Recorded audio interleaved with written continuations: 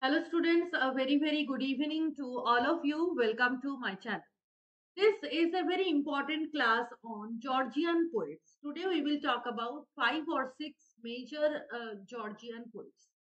But before starting, I want to give you a brief introduction about myself. My name is Vrishti Mukherjee. I have qualified NDA UGC NET exam in English literature four times and have also qualified West Bengal state examination. I have three years of teaching experience. Moreover, I have also taught in NPTEL online course from IIT Madras, so that is all about myself. This is the link of my telegram channel. The link is also given in the description box. So those of you who have not joined yet, please join to get notification of all important classes. And also please don't forget to like, share and subscribe my YouTube channel so that many more new learners can join. These are the timings of your classes Monday to Thursday at 8.30 pm. So don't forget to join me live. Please subscribe the channel and press the bell icon to get notification. Okay, so let's start. Let's start. Today we will talk about some very important Georgian poets. So first of all, what is Georgian poetry? A brief introduction to its features and definitions.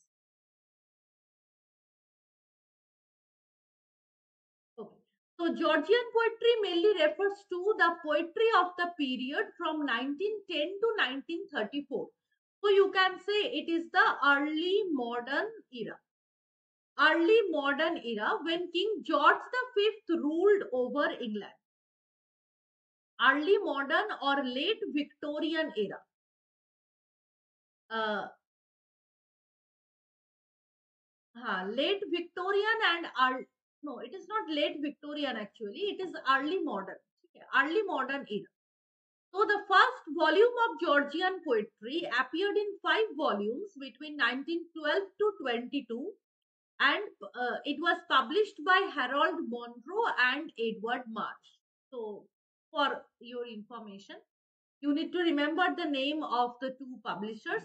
Harold Monro and Edward Marsh and ये anthology जो है first anthology of Georgian poetry इसके पाँच volume थे, वो उसका कोई एक सिंगल पब्लिकेशन ईयर तो नहीं था but it was published in series of ways तो 1912 टू 1922 के बीच में ये पब्लिश हुआ अच्छा तो Brooke Edmund Blunden John Freeman John Drinkwater Gibson Ralph Foxon they are the major Georgian poets जिन्होंने इस एंथोलॉजी में कंट्रीब्यूट किए। ठीक है?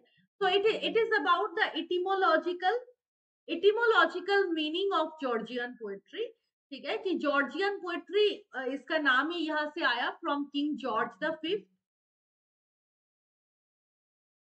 from King George the fifth ठीक है?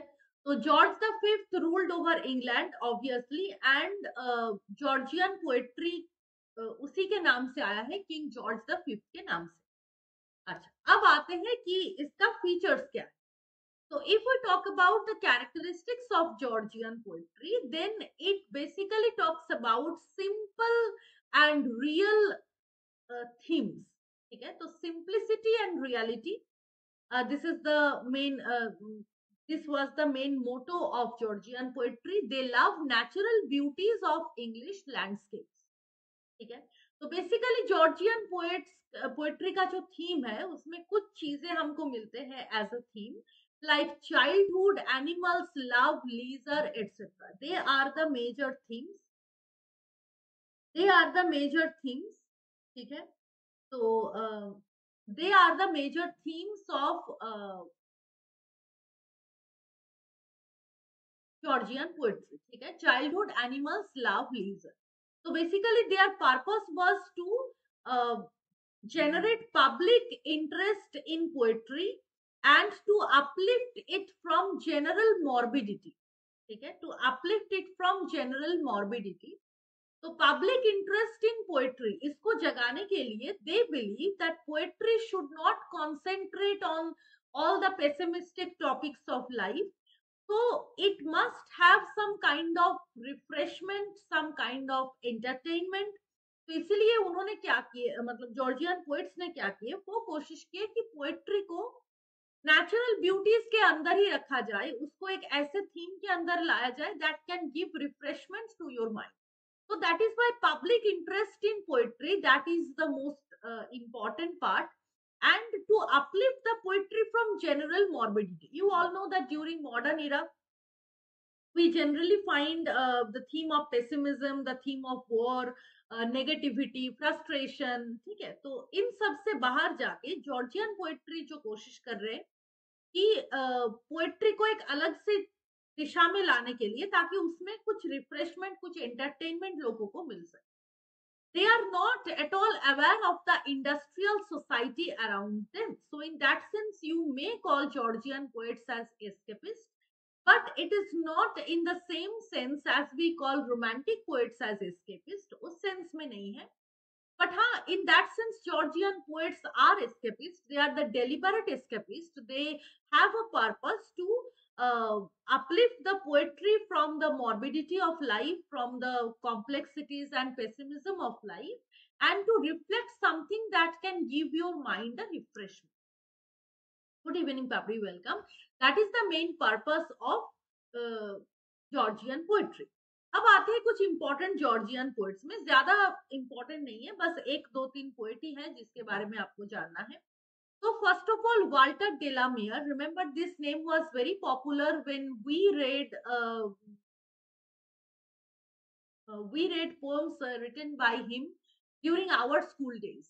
Uh, जैसे एक पोएम हमको uh, uh, एक पोएम था वॉल्टर डेलामेयर का द लिसनर ठीक है so this are the are the poems uh, specially written for children and it was often prescribed in school syllabus during our time ठीक है तो ये इन दैट सेंस एक बहुत ही फेमस नाम है Walter de la Mare 1873 to 1956 is his timeline so first of all a brief biographical introduction walter delamere was born on 25th april in charlton kent england he studied at st paul cathedral school so he also gave a famous lecture इस lecture का ये title था Rupert Brooke and the intellectual imagination Rupert Brooke and the intellectual imagination that was the lecture given by him basically if we look at his poems then it is based on the themes of uh,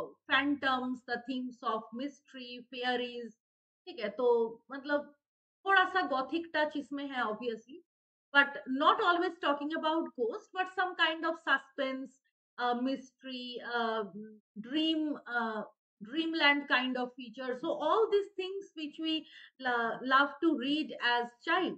So सारे के सारे element इसके अंदर है तो basically dream and nature are the major thing So what are the major works? Walter Delamere was not only a poet, he was also a novelist. So just remember the titles of his novels. There is no possibility to uh, re, uh, to um, get question uh, from in depth of these novels इसका कोई chances हमको नहीं दिख रहा है but titles आ सकता है Henry Broken The Return Memoirs of a Midget publication year uh, need not to be remembered then there are some short story collections The Riddle and Other Stories Ding Dong Bell uh, the title obviously indicates that it is written for the child uh, for the children on the age, eight tales, these are some of the short story collections. And if we talk about poetry collections, I have already said about the poem Listener, which is also talking about a secluded landscape where uh, one single traveler uh, has arrived and uh, he is in search of uh, some people, but there is no people. There is only a lonely hut and the traveler comes and knocks at the door. Uh, he only questions, is there anybody there? Is there anybody there? But there is no answer and uh, the listener the listener can be ghost ठीक है तो उस घर के अंदर क्या है कोई है या नहीं है इसका कोई uh, ये नहीं है but some kind of ghostly appearance may be there the traveler is asking the uh, repeatedly the same question but he is not receiving any answer so that is about the poem listener there are some other poems in the collection also then bells and grass Songs of Childhood. These are some of the poetry collections written by Walter Delamere. Yes तो अ, देखो इसमें हम summary दिए हैं the poem Listener it is a famous poem talking about a traveller who has stop before a house and knock at the door knock at the door. He expects someone to respond to his calls, but nobody answers that.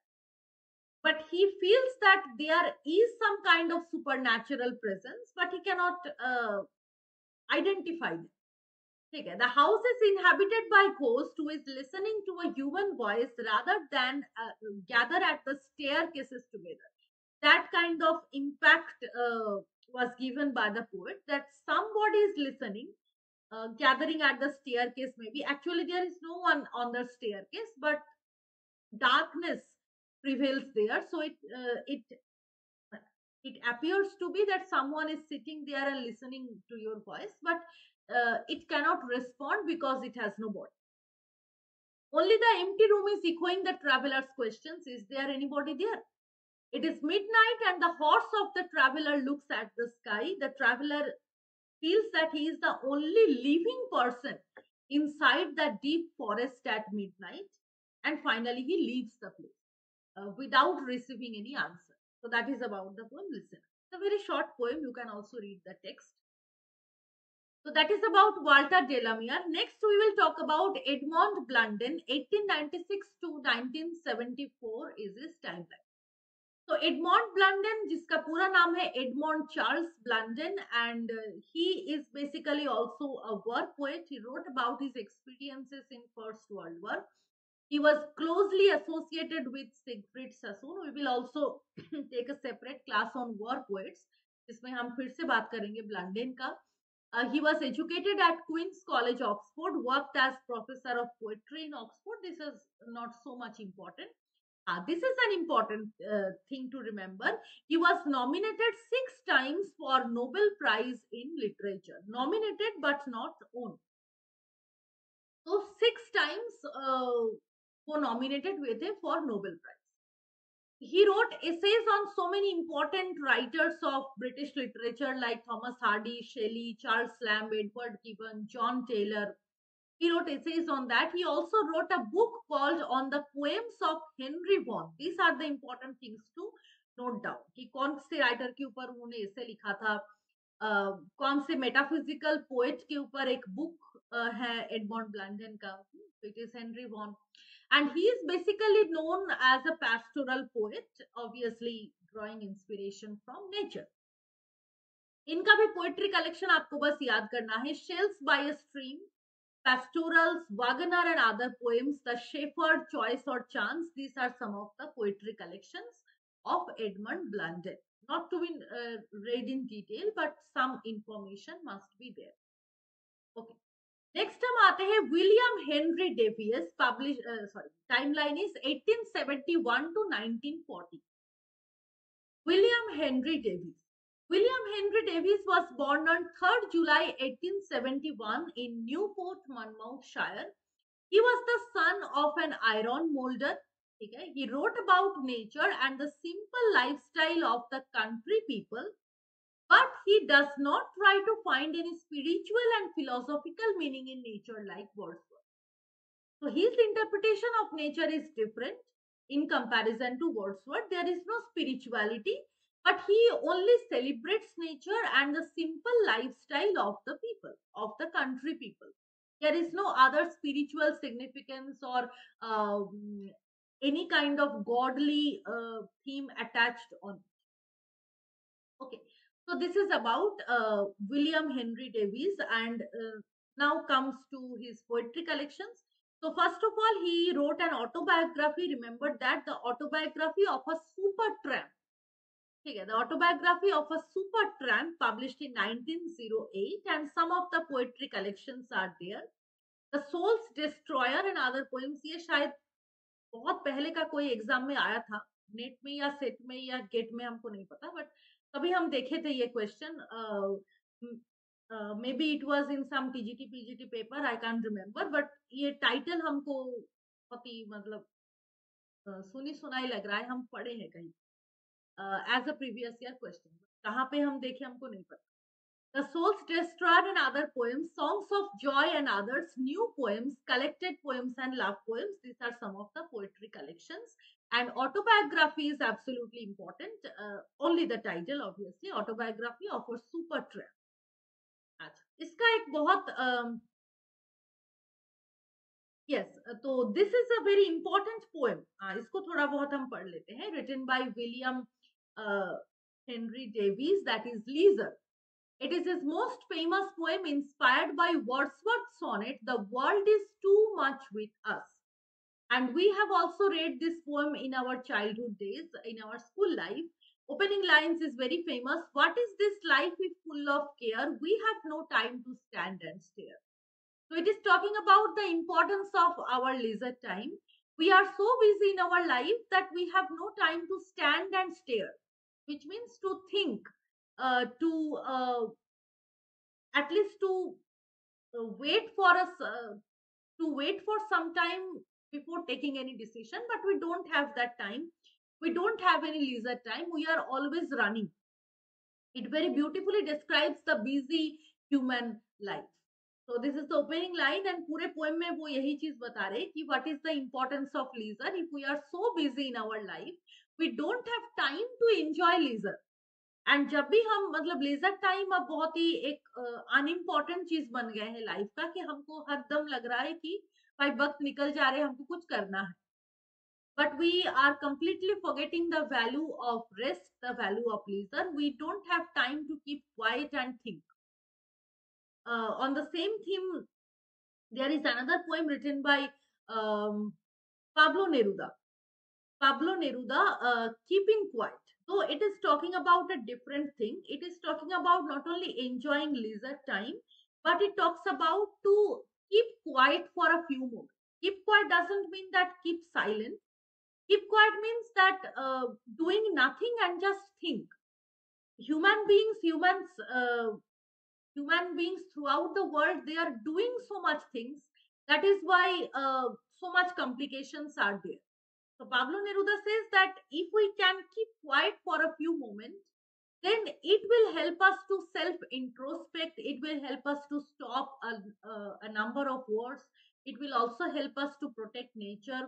तो इसका theme थोड़ा सा अलग है but again it is trying to talk about rest refreshment self introspection analysis self analysis जो leisure poem में भी है but in a very funny way Leisure particularly talks about enjoying leisure time, but leisure time also gives us the same opportunity to think about our own task. We have no time to stand and stare. This is the most important thing that we are often missing the minute details of nature. Specifically, uh, he is talking about nature. We are missing so many details of nature due to our busy life, which should not be we must uh, be aware of our surroundings but we are so busy uh, we are so engrossed in our own goals and our own interests that we have failed to notice other things so lisa is talking about that yes um, हाँ Indian kabaddi हम अभी just class में आने से पहले एक notice हम देखे कि नेट का आंसर की आ गया एंड शायद पांच तारीख तक टाइम है चैलेंज करने का एंड आपका आंसर की डाउनलोड करने का तो एक बार चेक कर लेना ऑफिशियल वेबसाइट में ही लिंक होगा। You have to log in first I think जैसे पहले होता था। लॉग इन करने के बाद आपको साथ ही साथ आपका क्वेश्चन पेपर आई मीन आप, आपने जो ऑनलाइन में फिल किया है that response sheet along with that आपका आंसर की डाउनलोड हो जाएगा। हम अभी जस्ट नोटिस को देखे तो हम अभी वेरीफाई नहीं किए। बट हम टेलीग्राम एक दूसरे टेलीग्राम ग्रुप में नोटिस देखे कि आंसर की आ गया बट आप एक बार चेक कर लो ऑफिशियल वेबसाइट में। आई थिंक आ गया होगा बिकॉज़ ऐसे हम सुन रहे थे कि जनवरी के फ़र्स्ट वीक में ही आ जाना चाहिए आंसर तो हो सकता है कि आ गया। ठीक है I I haven't check the official website because अभी जस्ट पाँच मिनट पहले हम बस क्लास की तैयारी कर रहे थे तो तब एक टेलीग्राम में नोटिस आया। हम बस ऐसे देख के आ गए। हम ऑफिशियल वेबसाइट अब तक नहीं देखे हम फिर बता रहे हो सकता है कि ये फेक है। बट uh, हम इसलिए बता रहे हैं कि एक बार वेबसाइट में जाओ एक बार विज़िट करो देखो वो नोटिस एक्चुअली में है या नहीं। जो मैंने देखी है कि थर्ड जनवरी को ये पब्लिश हुआ है मतलब आज की डेट में and up to fifth January you have time to challenge and download your response sheet तो एक बार ज़रूर चेक कर लो ऑफिशियल वेबसाइट में अगर है तो ये ऑथेंटिक ठीक है? ओके तो चलो talking about the Georgian poets next poet John John Drinkwater 1882 to 1937 is his timeline. So, John Drinkwater was born on 1st June 1882 at Leytonstone.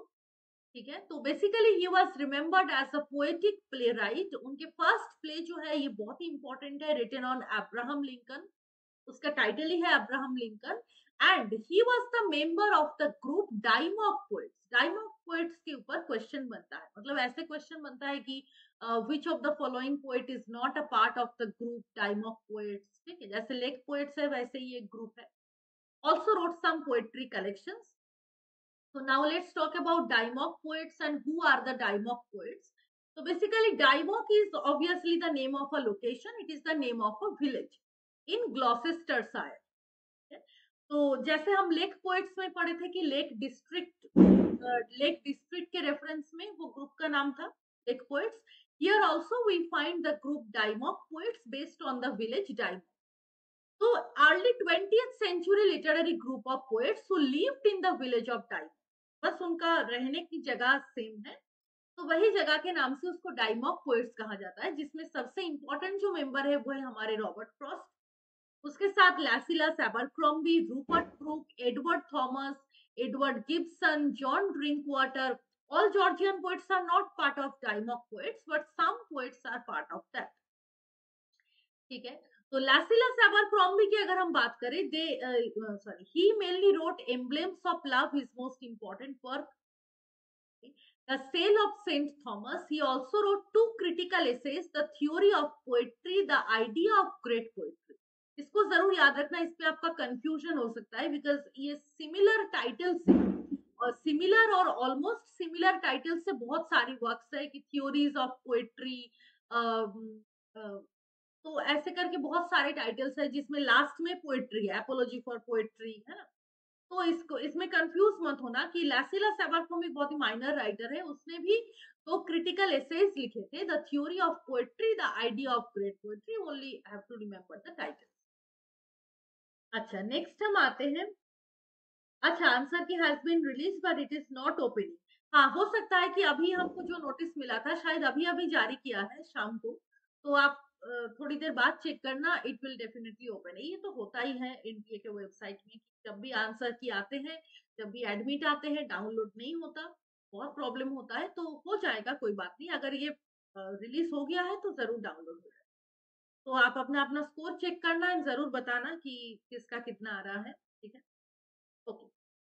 Now coming back to the next poet James Elroy Flecker, JE Flecker 1884 to 1915 is is timeline James Elroy Flecker was born on 5th November in London he worked in the consular service in the Middle East ठीक है? वो middle east में काम करते थे and that is why उनको एक्सोटिसिज्म के बारे में पता था। अच्छा एक्सोटिक लैंड्स के हाँ आरपीएससी का एग्ज़ाम हाँ आरपीएससी का एग्ज़ाम हम देख रहे थे शायद सत्रह या अठारह जनवरी को है मतलब जनवरी में ही है। तो हो सकता है कि एडमिट्स का अच्छा जो जो आरपीएससी का एग्ज़ाम दे रही हो, राजस्थान पीएससी का, जब एग्ज़ाम हो जाएगा तो हमको क्वेश्चन पेपर थोड़ा भेज दें। हम देखेंगे कि कैसा आया था, हम तो खुद नहीं दे रहे exam but I want to see the question paper अगर ये ऑफलाइन पेपर है तो हमको पेपर भेज देना। So, gave him a knowledge of the exotic lands. He wrote poems like the Golden Journey. The golden journey to Samarkand ये भी एक बार आया था शायद कि ये वर्क किसका है? The golden journey to Samarkand the war song of seventeen ये दोनों ही बहुत इंपॉर्टेंट है as related to the title it has beautiful and dazzling rhyme scheme here ठीक है? तो this is about James Elroy Flecker इसका ये दोनों ही वर्क्स इंपॉर्टेंट है बस आपको टाइटल्स याद रखना है। So this is about Georgian poets it is not a very fast topic there are only some three to four or five poets. You just remember the name of the poet. Uh, if he is member uh, of any another group जैसे वो डायमॉक poets and all the things हम अभी बताए उसके साथ उसके कुछ important poetry collection कुछ ड्रामा का जस्ट टाइटल इसके इन डेप्थ से क्वेश्चन आपका नहीं आएगा। Only titles you need to remember जैसे ये एक बहुत ही फ़ेमस टाइटल है gold train journey to Samarkand and the war song of the Saracen बस आइडेंटिफिकेशन में मैचिंग में आपको कहीं भी ये मिल सकता ओके ओके चल। so this is about georgian poets. I hope the topic is clear to you. तो that is the end of today's class thank you all for joining तो कल हम फिर से हम जो सेशन स्टार्ट किए थे for Bihar state PGT English classes उसमें हम डॉक्टर फॉस्टर्स पढ़े थे। तो कुछ और नया टॉपिक हम कल की क्लास में पढ़ेंगे related to the syllabus okay so don't forget to join me live please subscribe the channel and press the bell icon to get notifications this are the timings of your classes so we will meet again tomorrow at 8:30 PM Thank you very much for joining. Bye bye and good night.